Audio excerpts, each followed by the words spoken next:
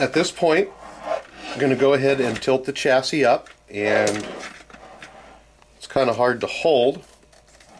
However, what we're going to do is we're going to use the spacer and that spacer is going to go underneath this little mount and in between the chassis. And I'm going to go ahead and set this back down and place it in where it goes. It looks like I just lost it in there. There we go. Try this again. Okay, I'm going to go ahead and set that down in and it lines up with the hole underneath on the bottom of the chassis. We're going to go ahead and set that down. We're going to grab one of the screws and see if we can hold this in place while we flip the chassis over here hold the engine and everything all in one fell swoop.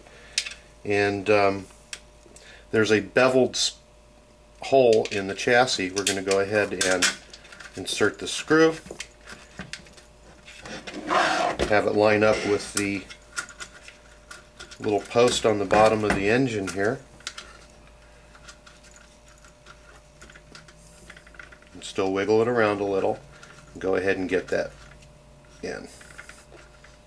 Which is not proving to be easy at this angle. What I'm going to do is go ahead and just flop the whole thing upside down here.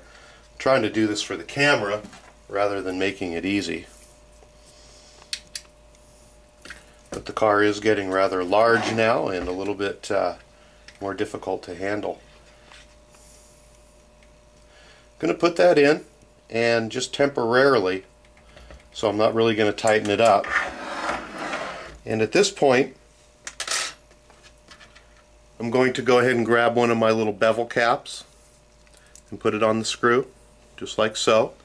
And we're going to go ahead and insert one here and one here.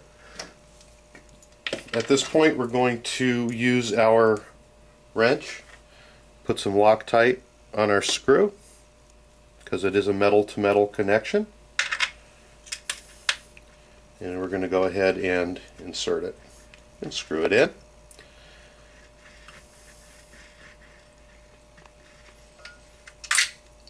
and snug it up.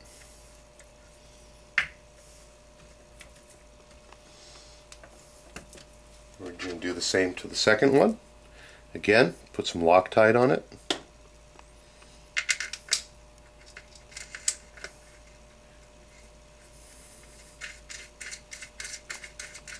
And install it. The reason that we didn't snug down this third or the first screw that we put in is because at this point yet we were just using it to hold the motor in and we didn't put any Loctite on it. So what we're going to do at this point is to flip our chassis around here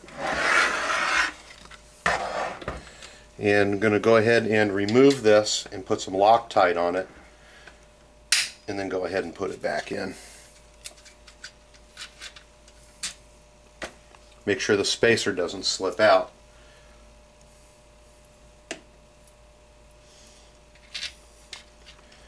Okay, just about done installing the engine. Go ahead and uh, make sure that one's nice and tight. Go ahead and flip her back over. Got real heavy and real big. At this point, um, we're going to go ahead and remove this bolt that we put in earlier just to hold everything. If in fact you used it, it does make things a little bit more simple when you do, but it's not necessary. And then the last thing we're going to do is revisit our fuel lines to make sure that they're routed properly and they're not being pinched off. I'm going to move this back around. Um, the directions tell us that they should go up and underneath the air filter. However, I really don't like that location. Um, I've never run mine that way. I've always just run them on the side like this. We get another little angle here. And the reason that I like that is that I can physically see every portion of the line to make sure that they're not getting pinched.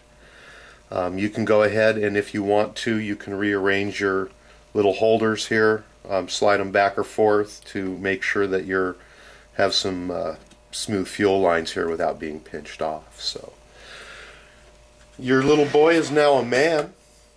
It's uh, taking up much more room on our table, and it is uh, starting to look more and more like a Baja at this point.